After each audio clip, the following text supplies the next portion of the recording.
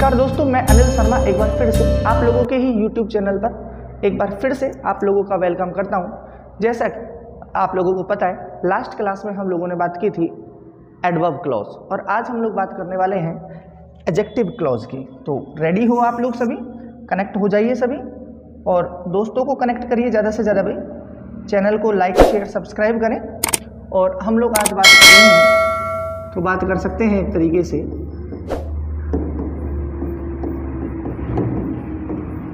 Adjective clause बोलते हैं इसको। दोस्तों, इसी को हम लोग रिलेटिव क्लाउज भी बोलते हैं।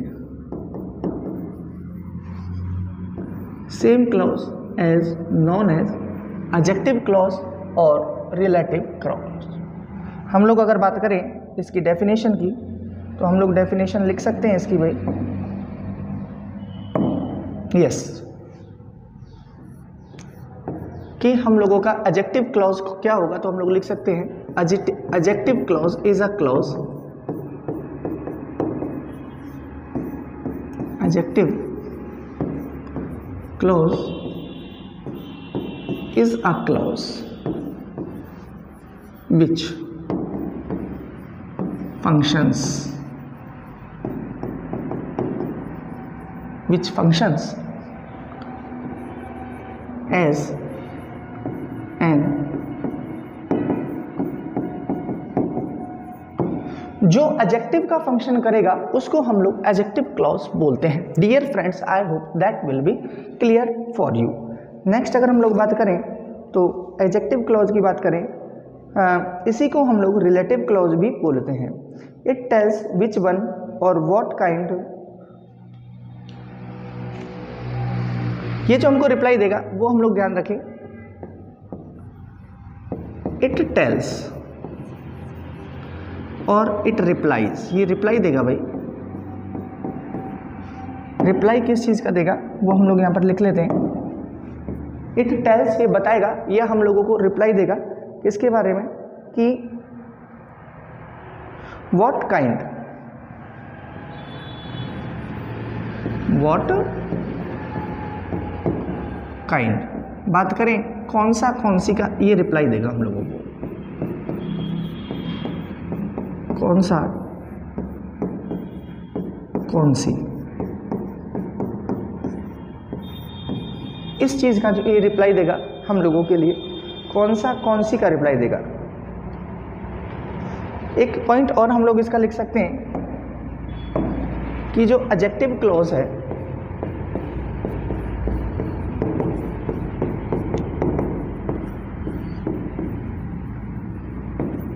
adjective clause almost always almost always comes right after adjective clause almost या बात करें हम लोग always comes right after right comes right after the noun or a pronoun the noun or pronoun which use जो use हुए हैं, उनके लिए हम लोग इसका यूज़ करेंगे। तो दोस्तों, एक छोटी सी बात हम लोग समझ लें तो हम लोगों का काम हो जाएगा। आप लोग देख सकते हो कि मैं यहाँ पर बात कर रहा हूँ कि एजेक्टिव क्लॉज या रिलेटिव क्लॉज एजेक्टिव क्लॉज या रिलेटिव की क्लॉज की बात करूँ तो एजेक्टिव क्लॉज वो क्लॉज होगा जो एक एजेक्टिव का फ़ंक्शन करेगा। एजेक्टिव की बात करूँ तो एजेक्टिव वो होता है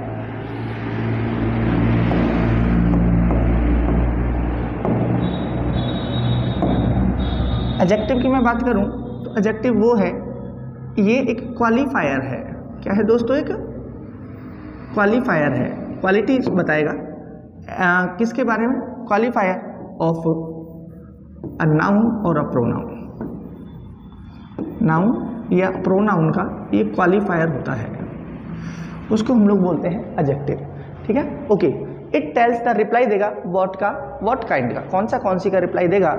और बात करें एजेक्टिव क्लॉज जो होगा ऑलमेस्ट या always comes right after the noun pronoun जिसके लिए यूज़ हुआ है, उसके तुरंत बाद हम लोग इसका यूज़ करेंगे। नेक्स्ट दोस्तों, हम लोग इसके कुछ एग्जाम्पल्स देखते हैं। इसको समझते हैं कि इसका यूज़ कैसे किया जा सकता है। तो एक मैं डायग्राम एक टेबल में बनाता हूँ। यहाँ पर हम लोग यूज़ करते हैं। एक तो करते हैं। हु का।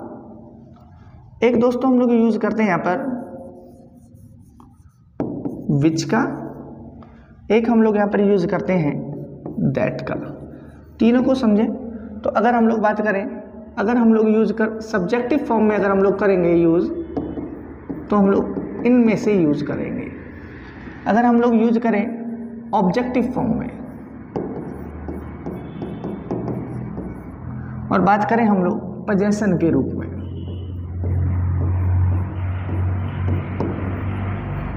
पजेसिव फॉर्म में तो हु का ऑब्जेक्ट जो होगा, वो होगा दोस्तों हुम और इसका पजेशन जो होगा, वो होगा विच बात करें हम लोग विच की तो विच सॉरी यहाँ पर विच नहीं, यहाँ पर हम लोग यूज़ करें तो हुज का यूज़ होगा यहाँ पर। किसका यूज़ करेंगे हम लोग? हुज का।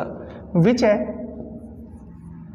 और यहाँ पर भी हम लोग यूज़ करेंगे विच और बात करें हम लोग पजेसिव में तो ऑफ़ विच का यूज़ करते हैं दोस्तों हम लोग। बात करें हम लोग सब्जेक्टिव फॉर्म में यूज़ करें तो दैट दैट और दैट तीनों में सेम आएगा। ठीक है दोस्तों? ये है हम लोगों के कुछ रिलेटिव प्रोनाउन जिनकी हम लोग बात कर सकते हैं। रिलेटिव प्रोनाउन से रिलेटेड कंजंक्शन है ये।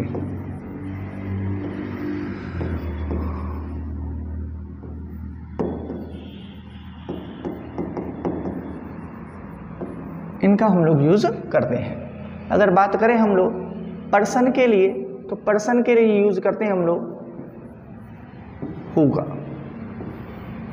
बात करें हम लोग थिंग्स के लिए तो थिंग्स के लिए यूज़ करते हैं हम लोग थिंग्स के लिए या बात करें एनिमल्स के लिए तो हम लोग यूज़ करते हैं विच का। और थिंग्स के लिए एनिमल्स के लिए और पर्सन के लिए। तीनों के लिए अगर हमको एक साथ यूज़ करना पड़ जाए तो दोस्तों हम लोग दैट का यूज़ भी कर सकते हैं। कुछ रेस्ट्रिक्शंस हैं, कुछ तरीके हैं कि कहाँ पर कैसे यूज़ होगा। उनकी बात हम लोग आगे करते हैं। हम लोगों ने बात की पर्सन के लिए हम लोग यूज़ कर रहे हैं हु का। हुज का और हुम का। बात करें हम लोग विच का और विच का और विच का यूज़ कर रहे हैं हम लोग थिंग्स के लिए। या बात करें हम लोग सभी के लिए हम लोग यूज़ कर रहे हैं दैट का दैट का और दैट का। I hope that will be clear आप लोग इसका एक बार स्क्रीनशॉट ज़रूर ले लें और हम लोग बात करते हैं नेक्स्ट कुछ एग्जाम्पल्स की ताकि हम लोगों के लिए ये क्लियर होता हुआ चला जाए।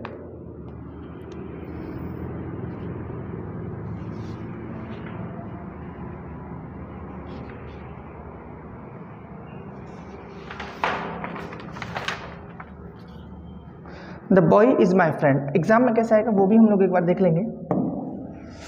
जैसे मैं एक एग्ज़ाम्पल लिखता हूँ। The boy is my friend the boy is my friend the boy is my friend he is in blue jeans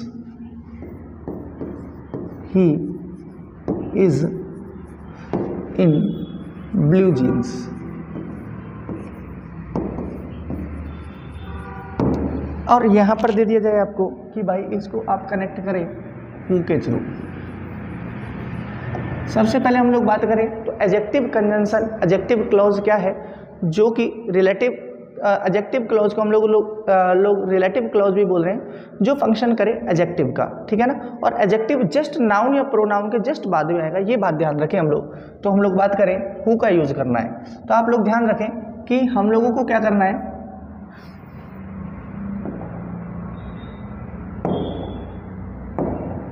कि हम लोगों को ही को या शी को हटाना है, और इसकी जगह पर हम लोगों को यूज़ करना है। किसका भाई? इसकी जगह पर हम लोगों को यूज़ करना है हु का। ये रूल है, ये हम लोगों को समझ में आ जाए तो हम लोग इसका आंसर लिख पाएँगे। तो क्या लिखें हम लोग? द बॉय क्या लिखें भाई हम लोग? द द बॉय ये इसको हटा रहे हैं और इसकी जगह हु ले रहे हैं हम लोग। तो लिख देंगे हम लोग द बॉय हु पूरा सेंटेंस अगला लिख देंगे हम लोग who is in blue shirt who is in blue shirt जो यहाँ से रह गया, उसको यहाँ पर लिख दीजिए is my friend is my friend दोस्तों, इस तरीके के क्वेश्चंस आप लोगों से एग्ज़ाम में बार बार पूछे जाते हैं। कुछ एग्जाम्पल्स मैं खूब सारे एग्जाम्पल्स लेकर के आया हूँ और उनकी हम लोग बात करेंगे।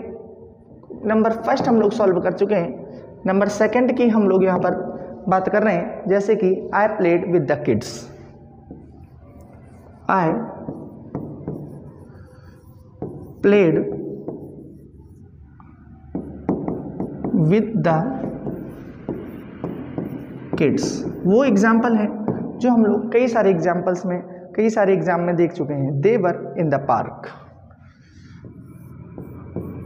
आप कनेक्ट करें इसको, तब तक मैं करता हूँ। देवर इन द पार्क आपको इस तरीके का एग्ज़ाम्पल दे दिया जाए और आपको बोल दिया जाए, इस सेंटेंस को आप हु से कनेक्ट करिए। दे दिया जाए और कह दिया जाए, इस सेंटेंस को आप हु के साथ जोड़ के एक सिंपल सेंटेंस बना दीजिए। तो हम लोग कैसे बना पाएँगे? देखें हु का यूज़ हुआ है दे के लिए। दे को हटाएँगे और दे की जगह पर हु लगा देंगे। तो आ जाइए। I played with the kids with the kids who were in the park जहाँ हो रहा है, उसके जस्ट पास में ले लेते हैं।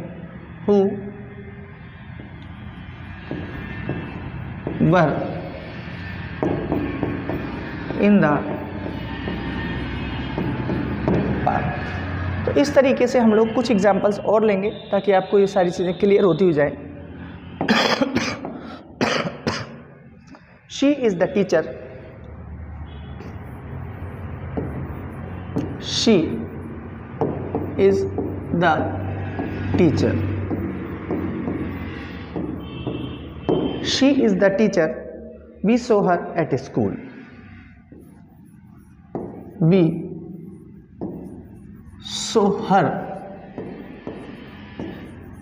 at school दोस्तों, इस तरीके का सेंटेंस है और आपको कह दिया गया है कि इस सेंटेंस को आप कनेक्ट करिए किससे? होम से. तो दोस्तों डियर स्टूडेंट्स हम लोग ध्यान रखें, हर को हटाएँगे और इसकी जगह पर हम लोग होम का यूज़ करेंगे। लेकिन ध्यान रखें, हर जो है, वो किसके लिए आ रहा है? शी के लिए आ रहा है। तो क्या हो जाएगा? She is the teacher whom we saw at school she is the teacher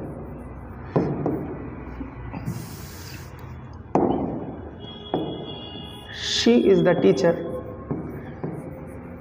She is the she is the teacher whom just पास में ले लेंगे उसके. Whom we saw at school इसके पास में ही हम लोग इसको लिख देंगे। आई नो राहुल कुछ एग्ज़ाम्पल और देखें हम लोग। तो हम लोग बात कर सकते हैं। I know Rahul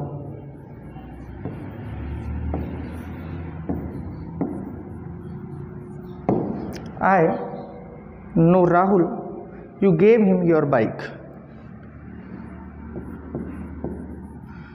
You gave him your bike और क्या दिया गया है? इस सेंटेंस को आप हु किससे कनेक्ट करें? आप लोग हिम है ना? तो हुम के साथ में कनेक्ट करें। यानी कि ऑब्जेक्टिव फॉर्म लेनी है आपको। किस तरीके से कर देंगे हम लोग? इजी वे में। क्या हो जाएगा? आई नो राहुल कैसे कर लेंगे हम लोग? आई नो। राहुल। हिम की जगह पर हुम लेना है तो क्या ले देंगे? हुम। क्योंकि राहुल के लिए आया है यहाँ पर तो राहुल के बाद लगा दिया गया है। Whom, you. Gave your bike. Easy form में हम लोग समझें जहाँ पर यूज़ हो रहा है उसके जस्ट उसी के लिए हम लोग इसका यूज़ कर देते हैं उसी के साथ में हम लोग इसका यूज़ कर देते हैं। Let's move for some example और कुछ एग्ज़ाम्पल है मेरे पास में जिनको मैं लेकर के आया हूँ। I like the teacher I like the teacher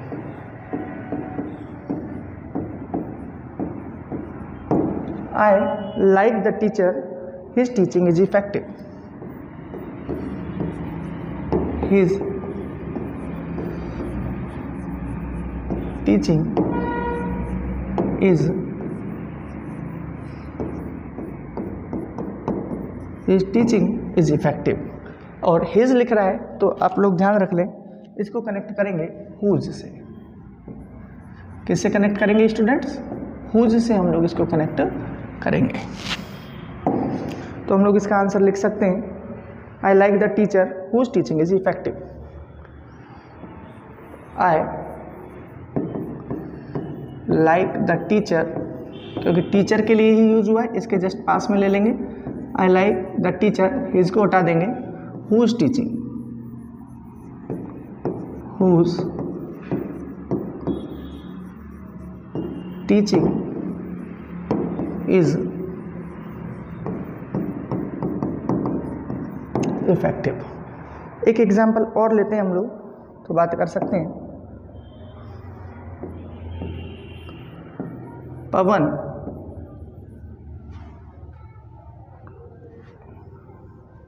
Is a teacher Pawan is a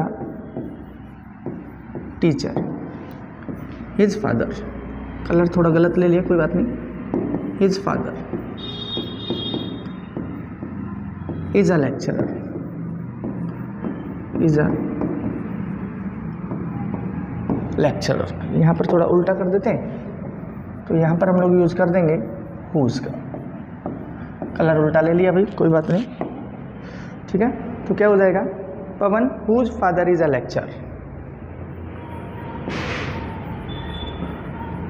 Pawan whose father? Is a lecturer.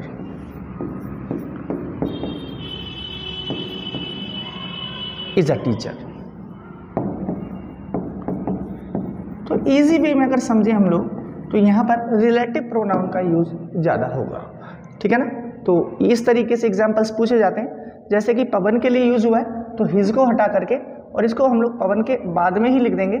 और सेंटेंस को पूरे को इसके जस्ट साथ में ही लिख देते हैं। तो ये चीज़ें हम लोगों को समझनी है। ये चीज़ें हम लोगों को समझ में आनी चाहिए भाई। और ये चीज़ें हम लोग समझने की कोशिश हम लोगों को करनी ही चाहिए डियर स्टूडेंट्स तो आप लोगों को ये बातें समझ में आनी चाहिए। और बात कर लेते हैं।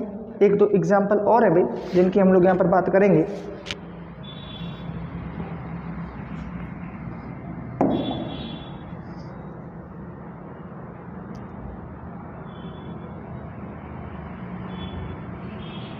Everybody that knew him left him एक लिखें।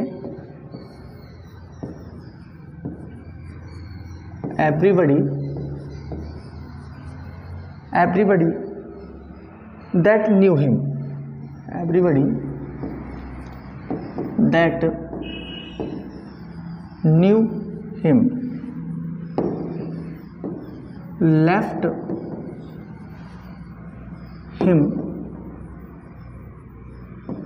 alone ठीक है डियर स्टूडेंट्स अब हम लोग बात करें कि यहाँ पर हम लोगों ने यूज़ किया है। किसका भाई? दैट का यूज़ क्यों किया है? दैट का यूज़ हम लोग करते हैं सभी के लिए। सभी की मैं बात करूँ आप लोगों से तो हम लोग बात कर सकते हैं। इसका यूज़ हम लोग पर्सन के लिए भी करते हैं भाई। इसका यूज़ हम लोग थिंग्स के लिए भी करते हैं भाई। इसका यूज़ हम लोग एनिमल्स के लिए भी करते हैं। तो इनका यूज़ हम लोग कैसे कैसे करेंगे? कब कब करेंगे? तो इसके लिए एक नोट है, उसके लिए थ्रू हम लोग इस बात को समझ लेते हैं। तो आप लोग ज़रूर से नोट डाल करके ज़रूर लिखना कि अगर हम लोग बात करें तो बात कर सकते हैं, इनका यूज़ कहाँ होगा? तो ऑल एवरीबडी एवरी वन क्या हो, अगर हम लोगों के पास में सब्जेक्ट के रूप में all everybody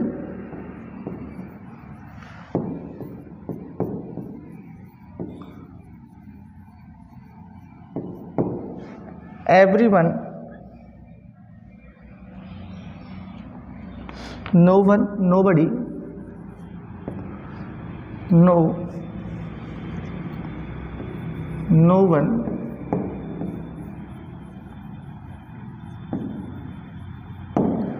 everyone no one nobody बात करें हम लोग, और हम लोगों के पास में सुपरलेटिव डिग्री है। क्या है? सुपरलेटिव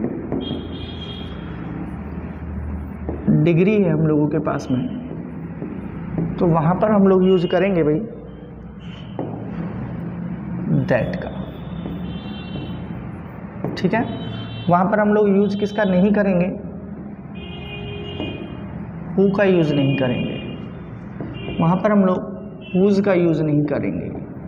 वहाँ पर हम लोग विच का यूज़ नहीं करेंगे। इनका यूज़ वहाँ पर नहीं होगा डियर स्टूडेंट्स ठीक है ना? हम लोग वहाँ पर उनका यूज़ ना करके हम लोग यूज़ करेंगे केवल और केवल दैट का। तो आराम से समझें कि अगर हम लोगों के पास में सब्जेक्ट के रूप में all everybody everyone no one nobody superlative degree दी हुई है तो हम लोग यूज़ करेंगे किसका? दैट का। किसका नहीं करेंगे? हु हुज और हुम का यूज़ हम लोग बिल्कुल भी नहीं करेंगे डियर स्टूडेंट तो ये बात आपको समझ में आ जानी चाहिए। आप लोगों ने इस वीडियो लेक्चर को देखा। दोस्तों, मैंने पूरी कोशिश की है आप लोगों को क्लाउज का टॉपिक ईजी वे में समझाने की। अगर आप लोगों ने वीडियो मेरे देखे नहीं है तो आप लोग सभी वीडियोस को देखें and I guaranteed for it कि आप लोग अगर सारे वीडियोस देख रहे हैं, आप लोगों से एक भी गलती नहीं होगी। आपको ऐसा नहीं है, एक भी कोई पॉइंट नहीं होगा जो समझ में नहीं आएगा। Thanks for watching the video lecture dear students